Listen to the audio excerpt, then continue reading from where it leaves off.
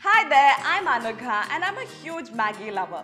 With the festive season around the corner, my cousins have come to stay over. You know what that means? Midnight Maggi parties. I've grown up eating these noodles all my life, so it's an instant comfort food for me. I recently got my hands on the 12 pack masala noodles and it vanished in 4 days. The Maggi 2 minute special masala instant noodles is a little spicy, but I can handle a bit of heat. Hunger strikes at 12 am and all the food's gone, Maggi comes to the rescue. We all have our different ways of making Maggi, but let me show you how you can make it my way. It's called the chili cheese Maggi. Heat a tablespoon of oil in a kadai and add half chopped onion and one slit chili. Now let it saute for a few minutes.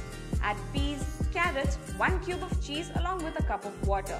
Add the Maggi tastemaker and noodles and let it simmer on medium heat until it cooks well. Garnish with chopped coriander and serve hot. And this was my comfort food recipe. I hope you try it out this festive season and love it as much as I do.